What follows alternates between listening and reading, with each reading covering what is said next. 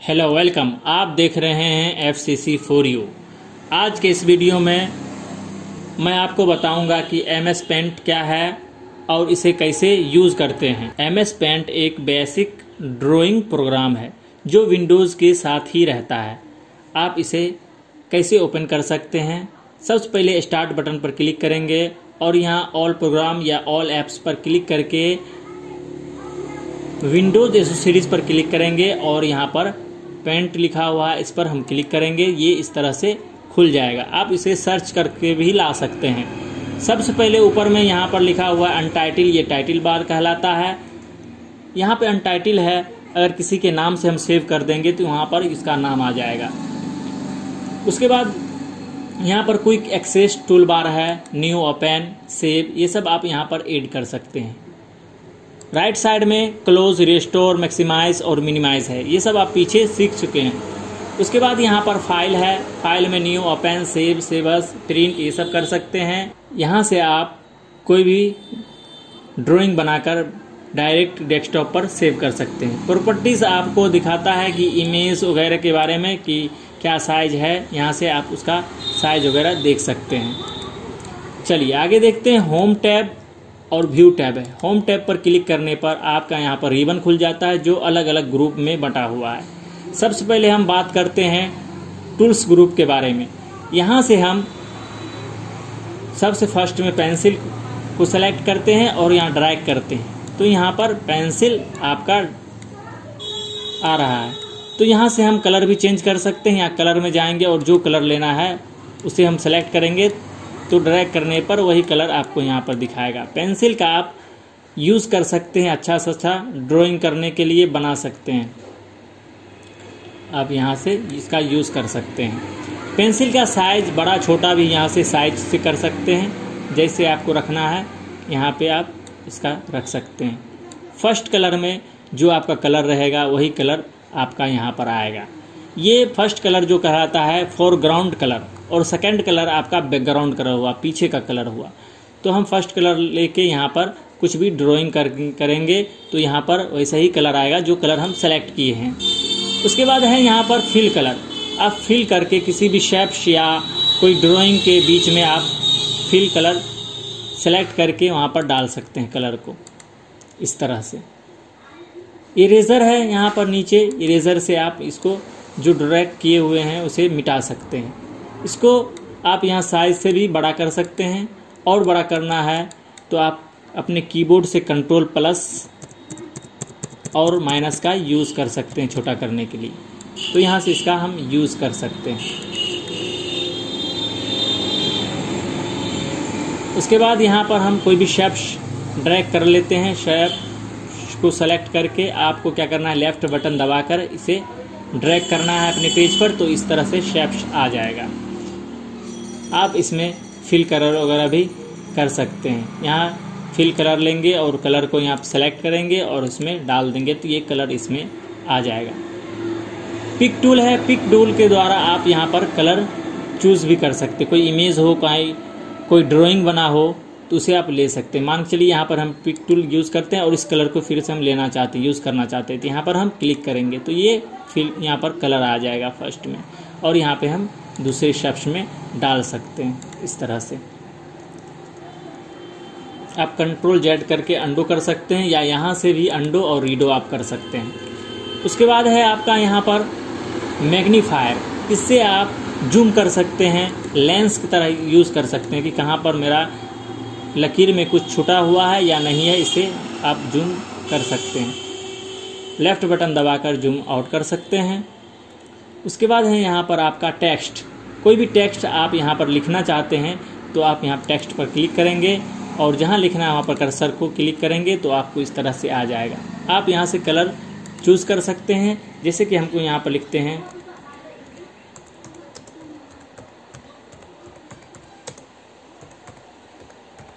Future computer centre अब देखिए, ये नीचे आ गया, थोड़ा सा हम क्या करेंगे, ये डॉट जो बना हुआ है, इसे खींच देंगे। ठीक है? अपना साइज़ यहाँ से हम कर सकते हैं। फ़ॉन्ट का साइज़ फ़ॉन्ट का चेंजिंग यहाँ से हम कर सकते हैं, जो फ़ॉन्ट लेना है, जो स्टाइल में फ़ॉन्ट का साइज़ वगैरह यहाँ से बड़ा घटा सकते हैं बोल्ड इटैलिक अंडरलाइन कर सकते हैं, ये सब आप यहाँ कर चुके हैं। उसके बाद आप यहाँ पर इसे इधर उधर खिसका सकते हैं। जैसे यहाँ पर देखेंगे, एरो चारों तरफ़ बना हुआ, इसे कहीं भी ड्रैग करके आप ले जा सकते हैं। उसके बाद है यहाँ पर आपका ओपक्यू और ट्रांसपेरेंट आप यहाँ पर ओपक्यू करेंगे तो पीछे का जो बैकग्राउंड है, वो नहीं दिखेगा। पीछे का जो शेप्स वगैरह है, वो आपको नहीं दिखेगा। ट्रांसपेरेंट करेंगे तो ये आपका ट्रांसपेरेंट पूरा दिखेगा, सिर्फ़ आपको टेक्स्ट से ही नज़र आएगा, पीछे का बैकग्राउंड नहीं नज़र आएगा। तो यहाँ से इसे आप चूज़ कर सकते हैं। आप कभी भी इसका कलर चेंज कर सकते हैं। जब तक इसमें डॉट बना हुआ है, आप बाहर क्लिक कर देंगे तो फिर से आप इसका कलर चेंज नहीं कर सकते। तो यहाँ से आप कलर वगैरह चेंज कर सकते हैं। चलिए तो फिर आगे देखते हैं ब्रश टूल यहाँ पे हम ब्रश का यूज़ कर सकते हैं। जो कलर हम यहाँ पर लेंगे, उसे ब्रश का यहाँ से हम यूज़ कर सकते हैं। एक एक करके यहाँ पर आप रखेंगे तो यहाँ पर सभी का नाम भी है। यहाँ पर देखेंगे मार्कर, क्रेयॉन और यहाँ पर देखेंगे ऑयल ब्रश ठीक है? वाटर कलर ब्रश सभी का नाम है। यहाँ से आप ले सकते हैं कलर कर सकते हैं, इस तरह से यूज़ कर सकते हैं।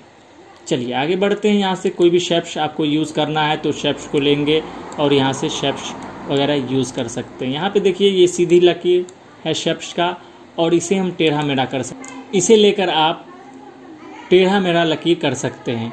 जैसे कि कोई भी हमको पेड़ वगैरह बनाना है तो उसका शेप्स देने के लिए इस तरह से हम इसका शेप्स को टेढ़ा वगैरह करके एक पौधे की लकीर की तरह बना सकते हैं। और यहाँ पर हम इस सब का यूज़ कर सकते हैं पेंसिल का यूज़ कर सकते हैं, जिस तरह से आपको बनाना है, उस तरह से आप यहाँ इस तरह से यूज़ कर सकते हैं। और फिल कलर वगैरह लेके यहाँ से आप कलर वगैरह कर सकते हैं।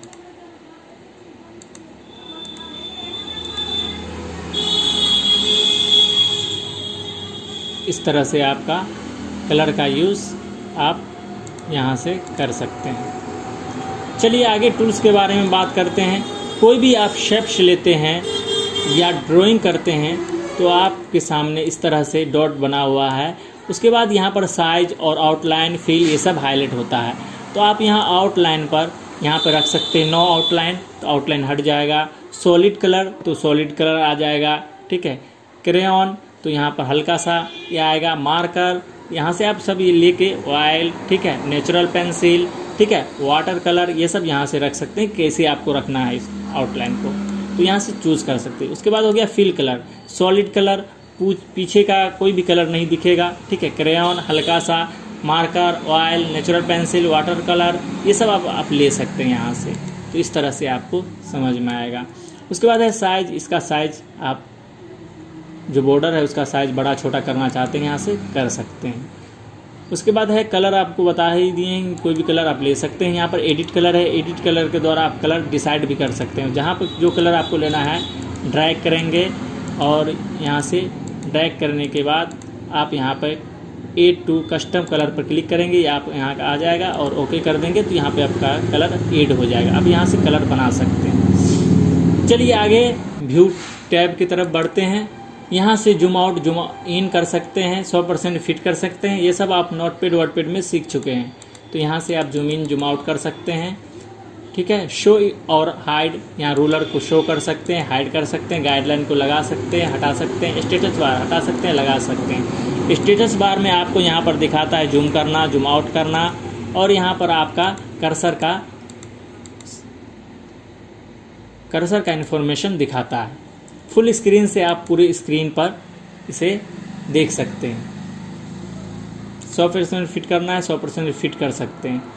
चलिए, आपको बताए थे सेट बैकग्राउंड अब जो हम बनाए हुए हैं, इसे हम बैकग्राउंड पर सेट कर सकते हैं। कैसे? यहाँ पर क्लिक करेंगे और ये बोल रहा है, सबसे पहले आपको इसको सेव करना होगा। तो हम इसे क्या करेंगे? सेव कर लेंगे। तो यहाँ पर हम क्या करते हैं, इस पर सेव पर क्लिक करते हैं। और यहाँ पर हम इसे किसी भी नाम से सेव कर लेते हैं। हम किसी भी नाम से यहाँ पर सेव कर लेते हैं। सेव करने के बाद फिर हम जाते हैं यहाँ पर और सीट और बैकग्राउंड पर क्लिक करेंगे तो ये होगा आपका बैकग्राउंड पर ये सेट हो जाएगा। तो इस तरह से आप बैकग्राउंड पर ड्राइंग करके भी सेट कर सकते हैं। आप इस पर अच्छा सा सा पेंटिंग कर सकते हैं। कुछ पेंट्स हम बना के दिखाते हैं आपको। जैसे कि हम एक फ्लैग बनाना चाहते हैं, अपना इंडिया का झंडा। तो इस तरह से हम एक शेप्स को लेकर ड्रैग कर लेते हैं। इसे साइज़ हमको छोटा करना तो यहाँ साइज़ से छोटा कर देते हैं। और यहाँ पर ये लेते हैं हम, यहाँ से कर्व शेप्स और यहाँ से हम इसे ड्रैग करते हैं। अब को इसे सीधा लकीर करना है शिफ्ट बटन दबाकर खींचेंगे। और ऊपर की साइड कर्सर को रखेंगे और लेफ़्ट बटन दबाकर ऊपर उठा देंगे। और फिर नीचे की तरफ़ रखेंगे और लेफ़्ट बटन दबाकर नीचे की तरफ़। जितना पे आपको राउंड करना है, उतना पर आप कर्सर को घिसकाएँगे और इसे छोड़ देंगे। उसके बाद आपको क्लिक कर लेना है और सेलेक्ट यहाँ पे सेलेक्ट लेना है। आप यहाँ देख रहे हैं, यहाँ से सेलेक्ट ऑप्शन का यूज़ कर सकते हैं। तो यहाँ पर हम सेलेक्ट लिए। आपको ये देख लेना है कि ये जो हम खींच रहे हैं सेलेक्ट ये लकीर, इससे बीच में ना कटे। तो यहाँ से हम पहले देख लेंगे कि ये कट रहा है कि नहीं रहा है, यहाँ पर हम ले लेंगे। और ये पूरी बॉक्स के अंदर आना चाहिए। तो इसे हम सेलेक्ट कर लिए उसके बाद यहाँ पर हम क्या करेंगे? कट कर लेते हैं। कट करने के बाद हम इसे पेस्ट कर सकते हैं। यहाँ से पेस्ट आएगा और यहाँ पे हम ड्रैग करके ला सकते हैं। देखिए, यहाँ पीछे का जो है वो ढक रहा है, यहाँ पे छिप रहा है तो क्या करेंगे? आपको बताए होंगे सेलेक्ट पर जाएँगे और यहाँ से क्या करेंगे? ट्रांसपेरेंट सिलेक्शन पर क्लिक करेंगे। यहाँ से ट्रांसपेरेंट सिलेक्शन पर क्लिक करके यहाँ से इसे हम लगा सकते हैं। और फिर पेस्ट करते जाएँगे और यहाँ पर हम इस तरह से लगाते जाएँगे। यहाँ से हम पेस्ट करते जाएँगे और यहाँ पर हम इसे लगाते जाएँगे, इस तरह से। ठीक है? उसके बाद फिर हम कर्व शेप्स लेते हैं और यहाँ से यहाँ इसको मिलाते हैं और यहाँ पर इसे ड्रैग कर देते हैं। साइज़ छोटा कर लेते हैं। फिर यहाँ से यहाँ लेते हैं। देखिए, ये करने के बाद आप फिर से शेप किसी और पर क्लिक करेंगे, फिर कर्व लेंगे। तभी नहीं तो ये इधर से उधर खिसक जाएगा। फिर यहाँ लेना है, फिर दूसरे शेप्स पर क्लिक करके फिर से लेना है और यहाँ से इस तरह से हम कर सकते हैं। उसके बाद आपको नीचे इस तरह से बनाना है। चक्र की तरह यहाँ से हम इस तरह से इसका यूज़ कर सकते हैं।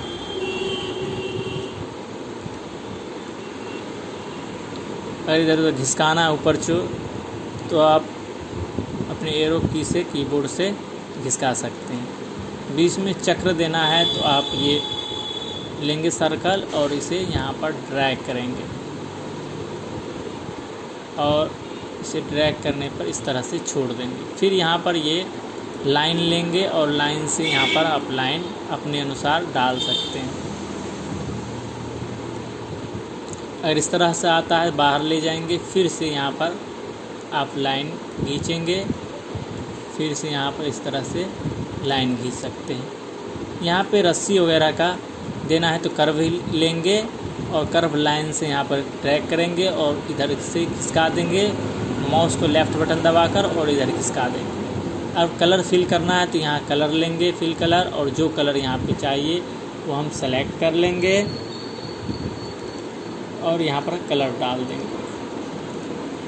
इस तरह से।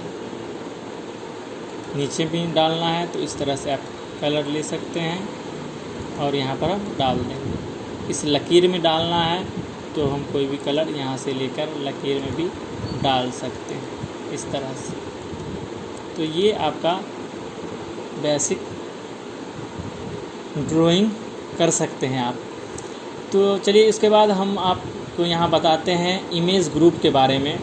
आप यहाँ से सेलेक्ट कर सकते हैं। मान चलिए, इस इमेज को हमें सेलेक्ट करना है तो यहाँ पर हम सेलेक्ट कर सकते हैं और इधर उधर खिसका सकते हैं। बैकग्राउंड कलर आपका वाइट रहना चाहिए। अगर हम बैकग्राउंड कलर यहाँ से चेंज कर देते हैं तो यहाँ से इस तरह से ये, देखिए किस तरह से ये बैकग्राउंड कलर आ रहा है। तो इस तरह से हम तो इस तरह से हम ड्राइंग कर सकते हैं। आप अच्छा से अच्छा ड्राइंग इस पर कर सकते हैं। चलिए, उसके बाद हम यहाँ पर आपको इमेज ग्रुप के बारे में बताते हैं। अब यहाँ पर हम इस फ्लैग को झंडा को सिलेक्ट कर लेते हैं और उसके बाद हमको अगर क्रॉप करना है तो यहाँ पर हम क्रॉप कर सकते हैं इस तरह से। इस तरह से क्रॉप कर सकते हैं। इसका साइज़ बड़ा छोटा करना है तो वो भी कर सकते हैं। रिसाइज से मान चलिए इतना दूर हम सेलेक्ट करते हैं और रिसाइज पर क्लिक करते हैं। पिक्सल और परसेंटेज में आप साइज़ छोटा बड़ा कर सकते हैं। तो यहाँ से हम इसे साइज़ छोटा कर देते हैं। इस तरह से ये छोटा बड़ा हो जाएगा। ठीक है? उसके बाद आप यहाँ पे रोटेट भी कर सकते हैं। पूरी पिक्चर को। या आप सेलेक्ट करेंगे तो आप यहाँ सेलेक्ट करके रोटेट कर सकते हैं इस तरह से। उसके बाद यहाँ पे सेलेक्ट में आप फ्री फ्रॉम सिलेक्शन से जितना दूर सेलेक्ट करना चाहते हैं, उतना ही दूर आप इस तरह से सेलेक्ट कर सकते हैं इस तरह से सेलेक्ट कर सकते हैं। देखिए, यहाँ पर बैकग्राउंड आपका वाइट कलर होना चाहिए। यहाँ पर मेरा दूसरा कलर है, इसीलिए बैकग्राउंड में दूसरा कलर आ रहा है। इसे हम वाइट रखेंगे। बैकग्राउंड कलर वाइट रखेंगे। अब यहाँ पर अगर हम सेलेक्ट करके हटाते हैं तो मेरा बैकग्राउंड कलर वाइट ही आएगा। तो इस तरह से आप इसका यूज़ कर सकते हैं। सेलेक्ट ऑल मतलब पूरा पेज सेलेक्ट हो जाएगा। आप इधर उधर खिसका सकते हैं। उसके बाद ट्रांसपेरेंट सिलेक्शन आपको बोले, जैसे कि हम यहाँ पर कुछ लिखना चाहते हैं या कोई शेप्स हम यहाँ पर डालना चाहते हैं तो इसके पीछे आपका देखेंगे। तो ये आप यहाँ से इस तरह से ड्राइंग कर सकते हैं। इमेज ग्रुप में आप अपने अनुसार इमेज को रिसाइज कर सकते हैं। सेलेक्ट पे आप यहाँ से सेलेक्ट कर सकते हैं क्रॉप करना है क्रॉप कर सकते हैं। इस तरह से आप ऑनलाइन फ़ोटो वगैरह करते हैं। आप ऑनलाइन फ़ोटो अपलोड वगैरह करते हैं तो यहाँ से उसका भी साइज़ आप यहाँ से रिसाइज कर सकते हैं। जैसे कि एक फ़ोटो हम ले लेते हैं कोई भी यहाँ से। मान चलिए कोई पिक हम यही पिक ले लेते हैं। और उसके बाद यहाँ पर हम रिसाइज पे जाएँगे और यहाँ पर परसेंटेज या पिक्सल कितना रखना है हमको? तो यहाँ पर पिक्सल सेलेक्ट कर लेंगे। पिक्सल जितना हमको हाइट और विर्थ रखना है, यहाँ से हम रख सकते हैं। वर्टिकल और हॉरिजेंटल कर सकते हैं। तो परसेंटेज रखते हैं हम यहाँ फिफ्टी कर लेते हैं। और यहाँ भी हम दोनों में हम 50 कर लेते हैं ओके कर देते हैं। तो इसी साइज़ में ये इमेज आपका यहाँ से आ जाएगा। इस तरह से आप इमेज का साइज़ भी कर सकते हैं। ओके तो ये छोटी सी जानकारी रही पेन ड्राइंग के बारे में। आप आगे के प्रोग्राम देखने के लिए इस चैनल को सब्सक्राइब करें और बेल आइकन को क्लिक करें, ताकि हम कोई भी वीडियो बनाएँ और अपने चैनल पर अपलोड करें, आपको नोटिफिकेशन मिल सके।